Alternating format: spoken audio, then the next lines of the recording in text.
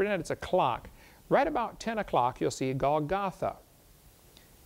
Right there, where Golgotha is, is apparently where this cave system was that Jeremiah hid it. If you read Jeremiah 27, it says, The nation and kingdom that will not serve the same Nebuchadnezzar, king of Babylon, that nation will I punish. Jeremiah knew full well they were supposed to surrender to Nebuchadnezzar. King didn't want to do it, and they didn't do it, so they ended up being killed, most of them, taken captive. So Jeremiah took the temple furniture, apparently, outside the city wall in a cave system, a tunnel system, out to underneath where today is Golgotha, where Jesus was crucified. Ron Wyatt was a good friend of mine. He died in 99, but he did a lot of research over there, and he says that he actually saw the Ark of the Covenant. I get people that criticize me for even mentioning Ron Wyatt. Well, I think he did good work, and you ought to, you ought to read, read what he's done. Read his research.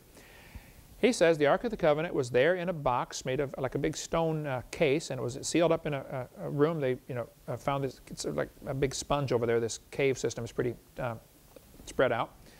And he saw the Ark of the Covenant. He said all it had was the Ten Commandments in it, nothing else. I talked to Ron in 1982. Uh, in January 82, Ron claims he found the Ark. I spent several hours talking to Ron. I said, Ron, you realize how, how far-fetched this sounds? He said, Brother Hovind, if you were telling me, I wouldn't believe you. He said, but it happened, I'll tell you.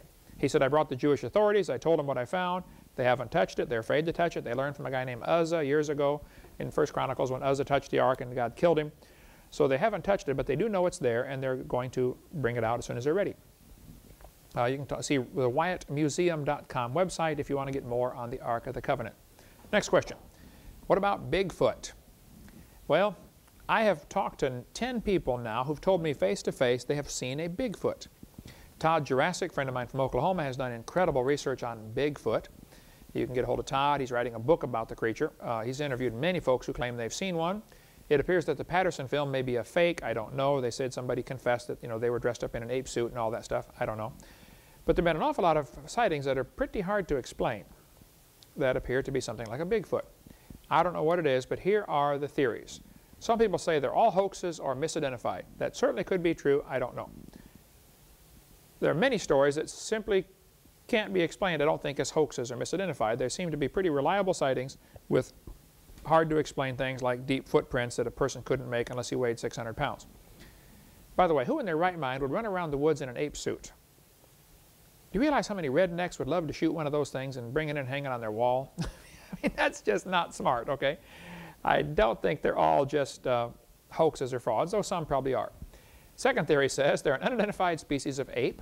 Third theory says they're some of the hippies from the 60s that haven't come in yet. They're hairy and they stink. Um, fourth theory says they're aliens from another world. I doubt that one. So bottom line is I don't know who they are. There may not even be any, but if there's a Bigfoot, I think it'd be interesting to find one and put it in my museum. We'd, we'd take good care of it, you know, feed it and all that stuff. Next question. Who were the Nephilim? in Genesis chapter 6.